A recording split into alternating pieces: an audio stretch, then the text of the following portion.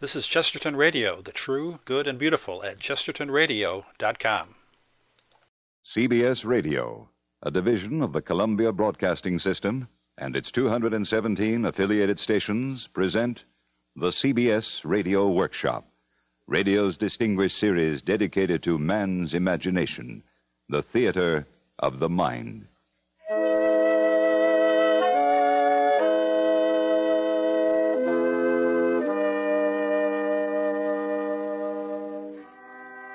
Tonight, from Hollywood, Season of Disbelief and Hail and Farewell, adapted and directed by Anthony Ellis. Two unusual and provocative character studies by one of America's most original authors, Ray Bradbury. Ladies and gentlemen, Mr. Bradbury. It has always seemed to me that life, to all of us, is an endless coil of rope playing through our hands every moment of every hour of the day. The long line of the rope goes back to the time we were born and extends on out ahead to the time of our death. In between lies the eternal now, the flickering moments when each of us must play the rope as best we can, without burning our fingers, snarling the coils, or breaking the line. This is a study of one woman and her rope. Season of Disbelief.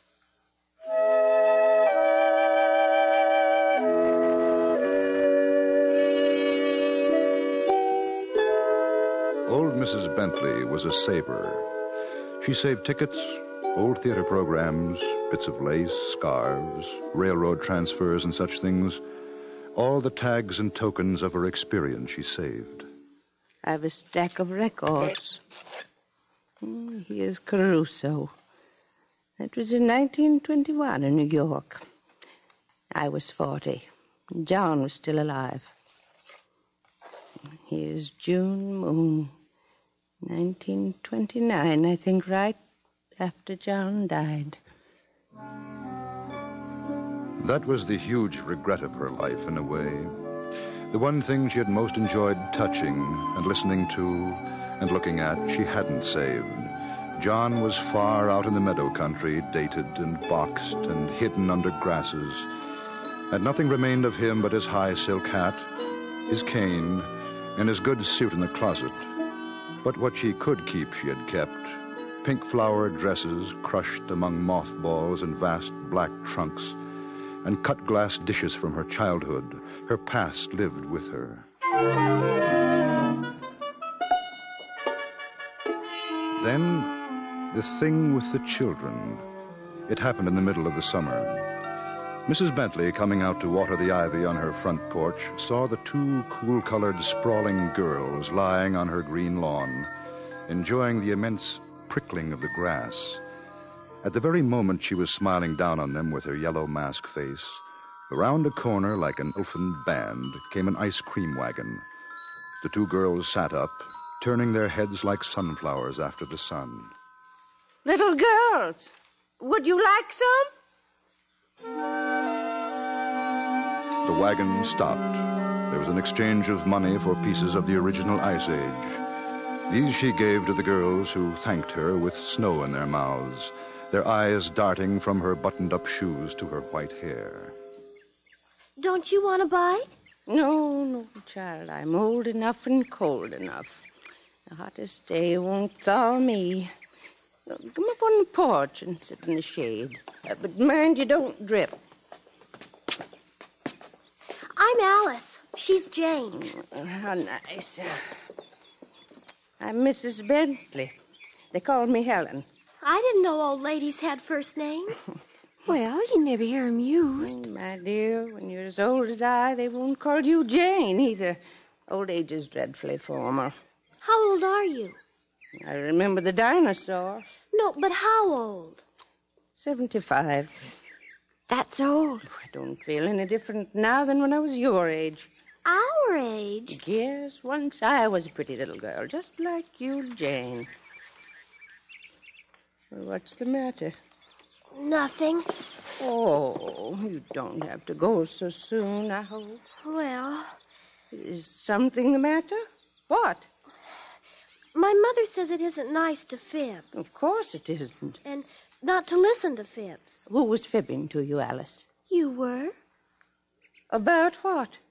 About your age? About being a little girl? Well, but I was. Many years ago, a little girl like you. Come on, Jan. But how ridiculous. It's perfectly obvious. Everyone was young once. You're joking with us. You weren't really ten ever, were you, Mrs. Bentley? You run on home. You get away from here. I won't have you laughing. And your name's not really Helen. Of course it's Helen. Goodbye.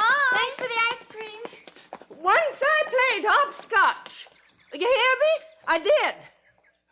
The idea. No one ever doubted I was a girl before. What a silly, horrible thing to do. I don't mind being old. Not really. But I do resent having my childhood taken away from me.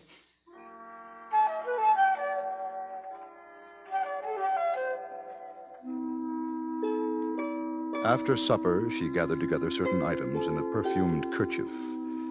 Then she went to her front porch and stood there stiffly for half an hour.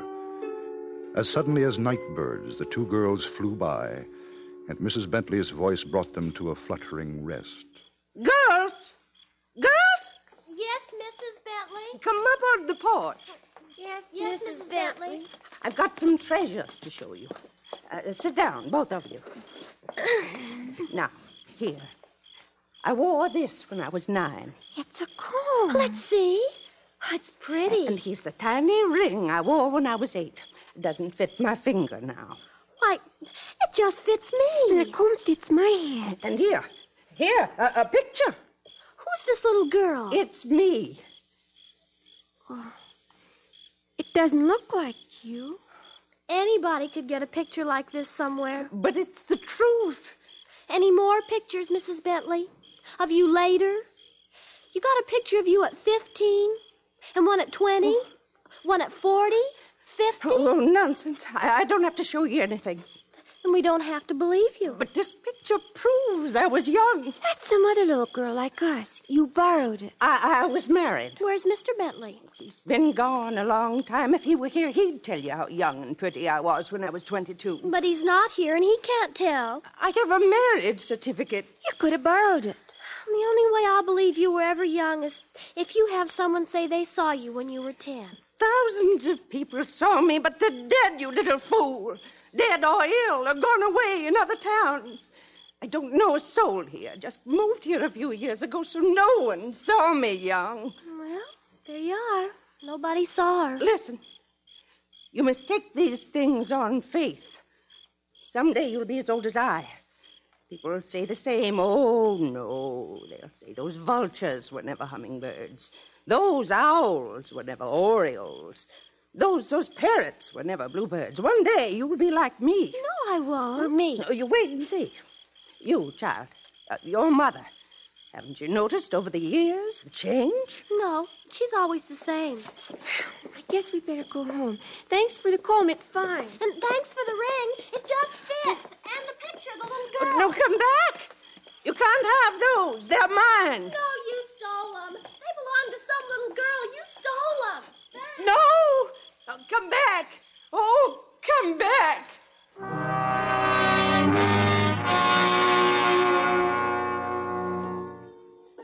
She lay awake for many hours into that night among her trunks and trinkets. A night wind blew in the room. The white curtain fluttered against a dark cane which had leaned against that wall near the other bric-a-brac for many years. The cane trembled and fell. Its gold ferrule glittered in the moonlight. It was her husband's opera cane. It seemed as if he were pointing it at her, as he often had, using his soft, sad, reasonable voice. Those children are right. They stole nothing from you, my dear. These things don't belong to you here, you now. They belong to her, that other you so long ago. And then, as though an ancient phonograph record had been set hissing under a steel needle, she remembered a conversation she had once with Mr. Bentley. Mr. Bentley, so prim, a pink carnation in his whisk broomed lapel. My dear, you never will understand time, will you? Don't you see, no matter how hard you try to be what you once were, you can only be what you are here and now. Time plays tricks. When you're nine, you think you've always been nine years old and will always be. When you're thirty, it seems you've always been balanced there on that bright rim of middle life. And then, when you become seventy, you are always and forever seventy. You are in the present. You are trapped in a young now or an old now. But there is no other now to be seen. Ticket stubs are trickery. Saving things is a magic trick with mirrors. You're saving cocoons, corsets in a way you can never fit again. Why save them? You can't really prove you were ever young. Pictures. Pictures, John. No, they lie. You're not the picture. Affidavits. No, you're not the dates or the ink or the paper. You're not these trunks of junk and tricks. You're only here now, the present you. Yes. I see. I see. In the morning. In the morning, I'll do something final about this and settle down to being only me and nobody else for many other year. That's what I'll do.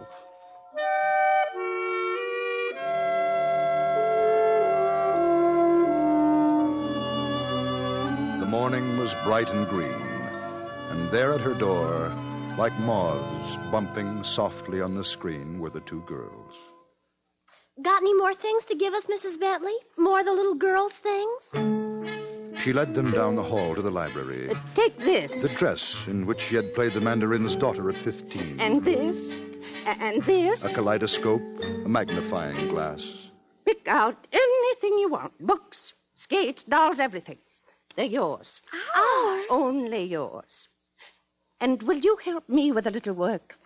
I'm building a big fire in my backyard. I'm emptying the trunks, throwing out this trash for the trash man. It doesn't belong to me. Nothing ever belongs to anybody. We'll help you, Mrs. Bentley. It'll be fun.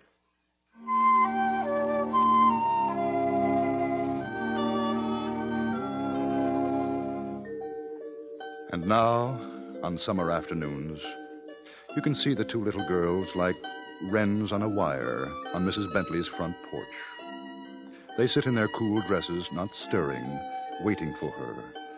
And when the silvery chimes of the ice cream man are heard, the front door opens, Mrs. Bentley floats out with her hand deep in the throat of her silver mouthed purse, and for half an hour you can see them there on the porch, the two girls and the old lady, putting coldness into warmness, eating chocolate icicles, laughing. At last they are good friends. How old are you, Mrs. Bentley? Seventy-five. How old were you 50 years ago? Seventy-five. You were never young, were you? And never wore ribbons or dresses like these. No, Jane. Never. Have you got a first name? My name is Mrs. Bentley. And you've always lived in this one house. Always. And never were pretty. Never. Never in a million trillion years. Never in a million trillion years.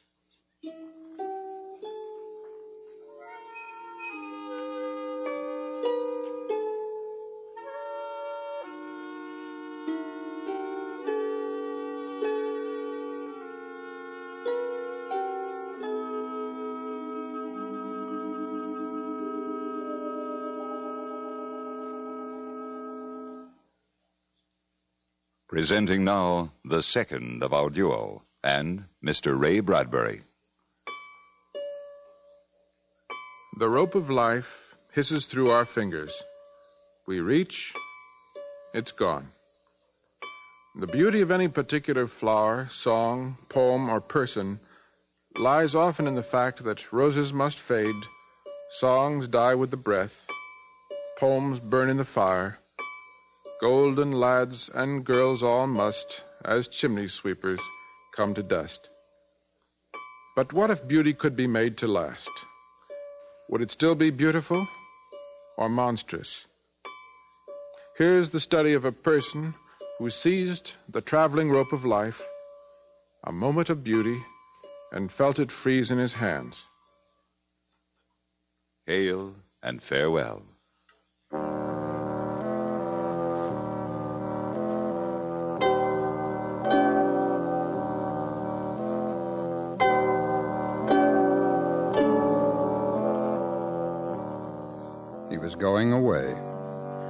Was nothing else to do.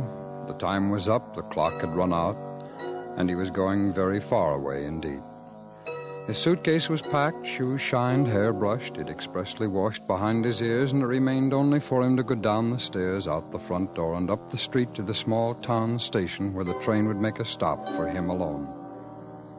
Then Fox Hill, Illinois would be left far off in his past, and he would go on, perhaps to Iowa, perhaps to Kansas, perhaps even to California. Willie, Yes. almost time. All right. I'll be down. In the mirror on his dresser, he saw a face made of June dandelions and July apples and warm summer morning milk. There, as always, was his look of the angel and the innocent, which might never in the years of his life change.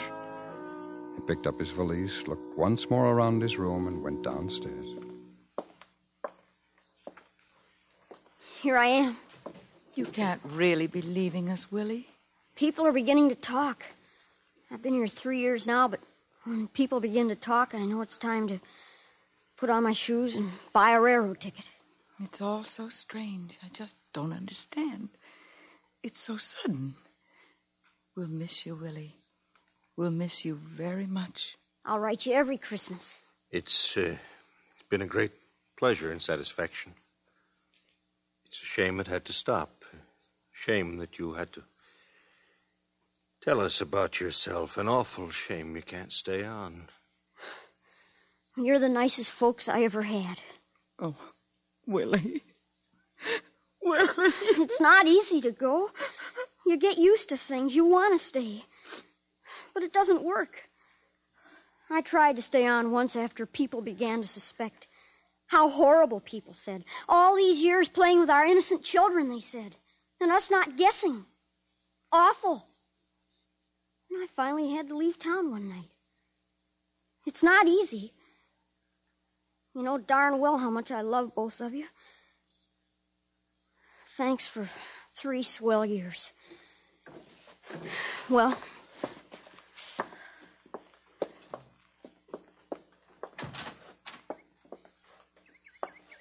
Willie, where will you go? I don't know. I just start traveling.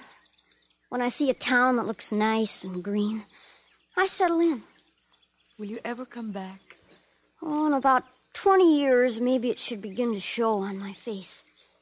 When it does, I'm going to make a grand tour of all the mothers and fathers I've had. Oh, Willie. We can't complain, Anna. Better to have had a son 36 months than none whatever.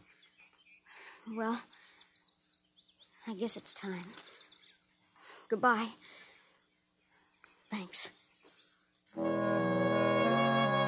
Willie kissed Anna quickly, touched Steve's hand, seized his luggage, and was gone up the street in the green noon light under the trees, not looking back. A small boy, twelve years old, with a birth certificate in his valise to show that he had been born 43 years ago.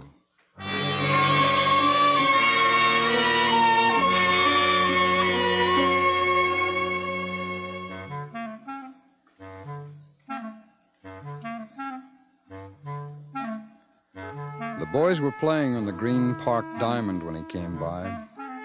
He stood a little while among the oak tree shadows, watching them hurl the white, snowy baseball into the warm summer air. The boys' voices yelled, and the ball lit on the path near Willie.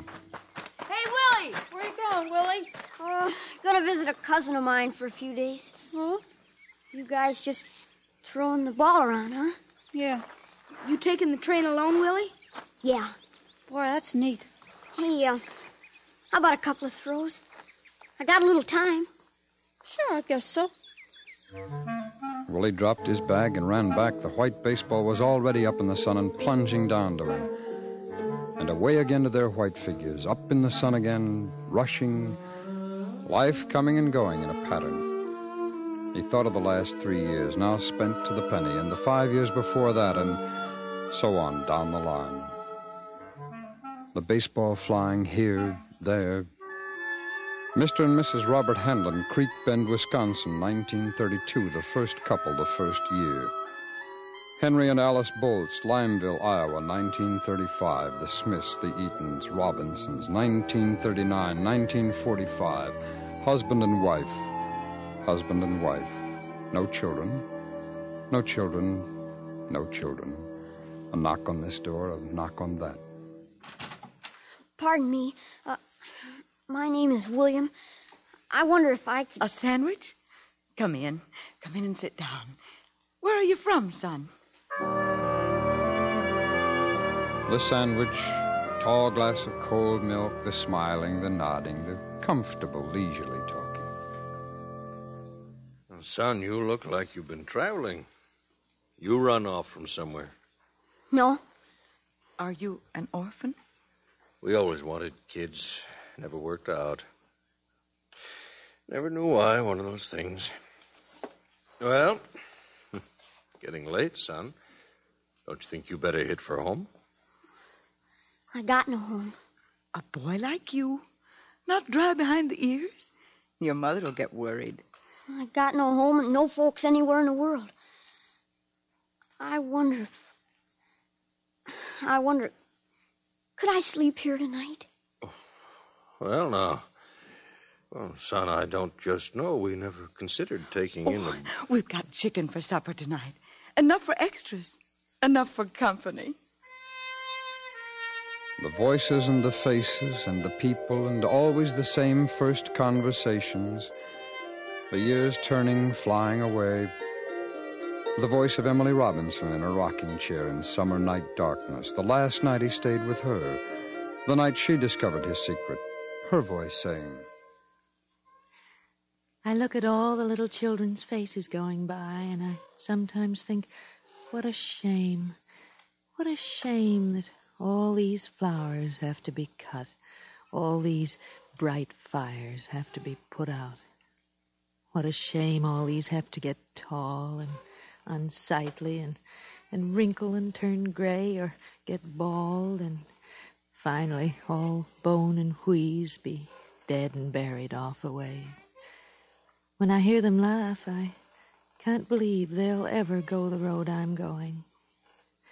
They're so eager for everything. I, I guess that's what I miss most in older folks. The, the eagerness gone, nine times out of ten. The freshness gone. So much of the drive and life down the drain. I like to watch school let out each day. It's it's like someone threw a bunch of flowers out of the school front doors. How does it feel, Willie? How does it feel to be young forever? Are you happy? Are you as fine as you seem? I I worked with what I had. After my folks died, after I found I couldn't get man's work anywhere, I I tried carnivals, but they only laughed. Son, they said, you're not a midget. And even if you are, you look like a boy. We want midgets with midgets' faces. Sorry, son. What was I? A boy? I looked like a boy, sounded like a boy. So I might as well go on being a boy. What could I do? What job was there for me? And then one day I, I saw this man in a restaurant looking at another man's pictures of his kids. Sure wish I had kids, he said. Sure wish I had kids. And that instant, sitting there, I, I knew what my job would be for all the rest of my life. There was work for me, making lonely people happy, keeping myself busy, playing forever. I knew I had to play forever, deliver a few papers, run a few errands, mow a few lawns. All I had to do was to be a, a mother's son and a father's pride. But, Willie, didn't you ever get lonely? Didn't you want things that grown ups wanted? I fought that out alone. I'm a boy, I told myself. I'll have to live in a boy's world, read boys' books, play boys' games, cut myself off from everything else. And I played it that way. Oh, it wasn't easy. There were times. But it's nice being a child for over 40 years. It's a living, as they say. And when you make other people happy, then you're almost happy too. And anyway, in a few years now, I'll be in my second childhood. All the fevers will be out of me, and all the unfulfilled things, and most of the dreams. Then I can relax.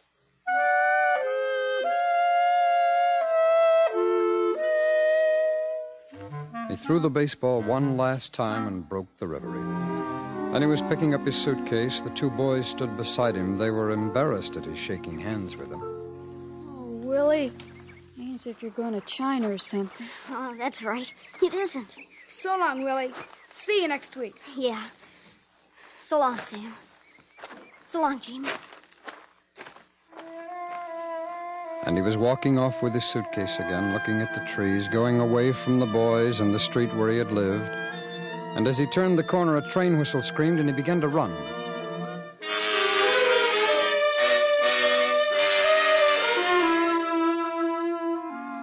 In the early morning, with the iron smell of the train around him and a full night of traveling shaking his bones and his body, he awoke and looked out on a small town just arising from sleep. A porter moved by, a shadow in the shadows. Sir, what town's this? Uh, Valleyville. How many people? Mm, 10,000. Why, this your stop? It looks green. It looks nice and quiet. Uh, son, you know where you're going? Here. I hope you know what you're doing, boy. Yes, sir. I know what I'm doing. He was down the dark aisle, luggage lifted after him by the porter, and out into the smoking, steaming cold beginning to lighten morning. He stood looking at the porter in the black metal train against the few remaining stars. Boy! Wish me luck! What? Wish me luck! Oh, best of luck, son. Best of luck to you, boy. Thanks! He watched the black train. He didn't move all the time it was going. He stood quietly, a small boy, 12 years old again, on the worn wooden platform, and only after three entire minutes until the train was completely gone away and out of sight did he turn at last to face the empty streets below. Then, as the sun was rising, he began to walk very fast so as to keep warm down into the new town.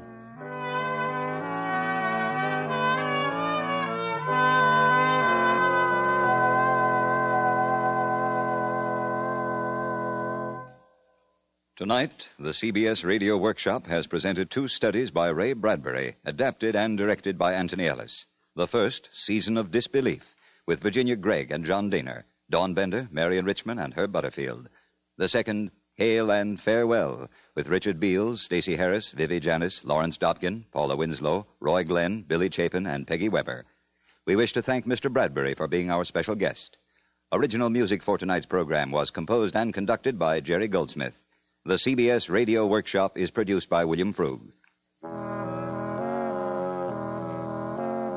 This is Hugh Douglas inviting you to join us again next week when we present the eminent Shakespearean teacher, Dr. Frank C. Baxter, professor of English at the University of Southern California, and Mr. William Shakespeare, noted author, who will be our special guests, presented on the CBS Radio Workshop. Stay tuned for five minutes of CBS News to be followed on most of these stations by The Jack Carson Show. America listens most to the CBS Radio Network.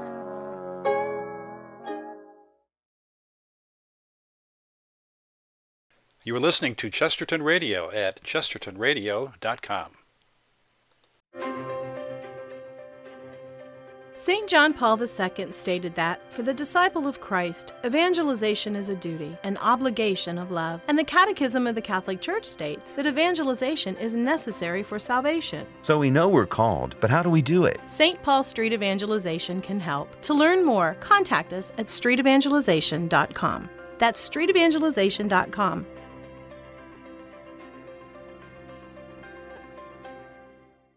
This is Chesterton Radio, your home for podcasts of works by G.K. Chesterton, plus drama, comedy, mystery, science fiction, big bands, and much more. The soundtrack to your Chesterton day at chestertonradio.com.